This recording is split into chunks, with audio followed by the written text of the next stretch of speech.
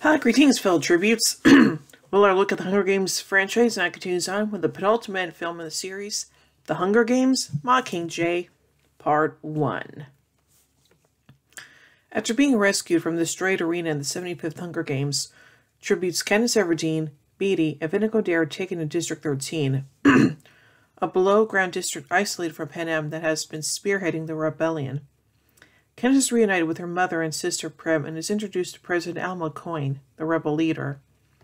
Katniss is told that her arrow destroying the force field led to riots in over half the districts, joining District 13 in the rebellion, which caused Snow to bomb District 12 in retaliation.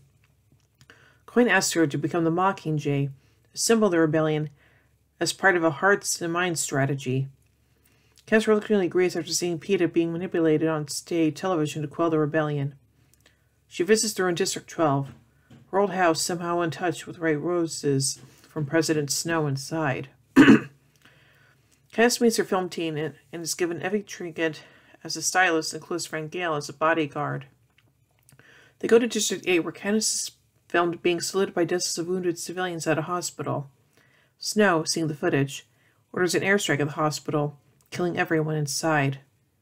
The group films Katniss and Gale shooting down two Capitol hovercraft, Katniss's rage-filled threat, If we burn, you burn with us. Afterwards, loggers in District 7 revolt, the same phrase of killing peacekeepers by detonating landmines. Katniss and her team travel to District 12. Katniss is filmed singing The Hanging Tree. Hundreds of protesters in District 5, sing the same anthem, launch a suicidal human wave attack against a hydroelectric dam that is the Capitol's primary source of electricity. The attack successfully implodes and breaches the dam, causing a blackout that forces Capitol to revert to secondary generators. That night, Katniss watches Peeta being interviewed by Caesar Flickerman, the game's former presenter, when Coin and Beetee hijack the signal to air a clip of Katniss. After seeing it, Peeta suddenly shouts a warning that the Capitol is about to, to attack District 13. Coin orders a massive evacuation into deep underground shelters, and the facility survives the attack. Upon emerging, Katniss discovers the area littered with bright roses. That Snow orchestrated this to inform her that wherever she condemns the Capitol, they'll torture Peeta in retaliation. Coin leads special forces to rescue Peeta, including remaining victors Johanna Mason and Enobaria and Annie Cresta from their prison. Beetee hijacks the Capitol's defense system with a propo narrated by Finnick to convince more districts to see, decide with the rebellion. When this proves not to be enough, Katniss communicates directly with Snow as a further distraction to buy enough time. Gale's rescues the victors and escapes the Capitol easily, indicating the Capitol reduces security on purpose. When Katniss greets Peeta, young Spike attacks and strangles her into unconsciousness before being knocked out by Boggs. Katniss wakes up and is informed that Peeta has been hijacked, brainwashed into trying to kill her, which explains why the Capitol allowed them to escape with him. Peeta is placed in solitary confinement, while serum is developed to reverse the hijacking effects. Coin announces that the rebels' next objective is the Capitol's principal military stronghold in District 2. now the only now the only district remaining loyal to the Capitol. Hmm. So now let's look at the production of this film, beginning with the pre-production. On July 10th, 2012, Lionsgate announced that the third and final installment series, Mockingjay, would be split into two parts. Excuse me. The Hunger Games Mockingjay Part 1 was released on November 21st, 2014, and The Hunger Games Mockingjay Part 2 was released on November 20th, 2015. Many directors, including Rian Johnson, Francis Lawrence, and Alfonso Cuarón, were considered for the job. On November 1st, 2012, Lawrence, director of Catching Fire, announced he will return to direct both final parts in the series. On December 6, 2012, Danny Strong announced that he will be writing the third and fourth films. On February 15, 2013, Lionsgate confirmed the script for Part 1 was, was written by Strong, giving him permission to write Part 2. Later in August, Hemsworth confirmed that shooting of the film would begin in September 2013. The film's production began on September 16, 2013, in Boston, Atlanta, and Los Angeles. Studio Babelsberg co-produced and oversaw production services for the film. And now on to the casting. On August 26, 2013, it was announced that Stef Dawson had joined the cast and portray Annie Cresta. Lionsgate announced on September 13th, 2013, that Julianne Moore had joined the cast of both Mockingjay's parts to, to play President Alma Coin.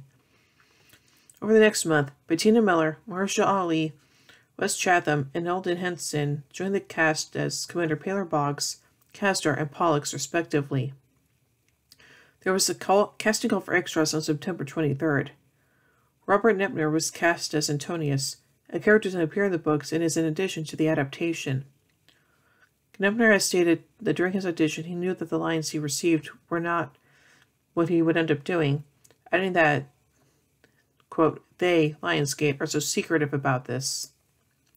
Wyatt Russell was offered was originally offered a role in both parts of Mockingjay, but his father Kurt confirmed in September 2013 that he had turned down the offer to star in 22 Jump Street. And now on to the filming. Shooting began September 23, 2013 in Atlanta and concluded on June 20th, 2014 in Berlin. Part 1 was filmed back to back with Part 2. In mid October, the crews were spotted filming in Rockmart. The cast and crew took a break to, to promote the Hunger Games Catching Fire, and filming resumed on December 2, 2013. On December 14, 2013, shooting took place at the Marriott Marquis in Atlanta, Georgia. On December 18th, shooting began at Caldwell Tanks in Newnan, Georgia. Philip Seymour Hoffman died on February 2, 2014. Lionsgate released a statement Hoffman had, complete, had completed filming most of his scenes prior to his death. On April 18, 2014, producer Nina Jacobson announced that filming in Atlanta had just wrapped up, followed by director Francis Lawrence announcing the next day about moving production to Europe. It was announced that they would be filming battle scenes in Paris and at Berlin Tempelhof Airport in Berlin. They began filming streets of Paris and in the city of Ivry-sur-Seine, sorry if I mispronounced that, on May 7th, where Lawrence and Hemsworth were spotted during the filming of some scenes among extras. On May 9th, it was reported that filming was taking place in Noisy-le-Grand, Paris, where Lawrence, Hemsworth, Hutcherson, and Claflin were spotted on set which re on the set which recreated the world of Panem. It's the same location where Brazil was filmed in 1984. Hmm. And now onto the costumes. Christian Cordelia, Cordella, a costume illustrator in the first movie, returned to sketch the outfits for District 13. And now let's take a look at the music of this movie. The music was created to convey the dark feel of the film. On October 9, 2014, it was revealed that the Trinity Schoolboys Choir recorded tracks for the score written by James Newton Howard. Jennifer Lawrence performed the film's version of the song The Hanging Tree, originally featured in the novel, but was not thrilled about having to sing and cry the day of the performance. As of the evening of November 25, 2014, the song was number 4 on Apple's iTunes Top 150 list. The Hanging Tree also peaked at number 1 in Austria and Hungary, and peaked at number 12 on, the, on Billboard Hot 100 in the US. Huh, interesting. and now finally, let's take a look at some political, some political ramifications from this movie. On November 20th, 2014, some showings were reportedly canceled in Thailand because protesters were using the three finger salute at demonstrations against the country's military government.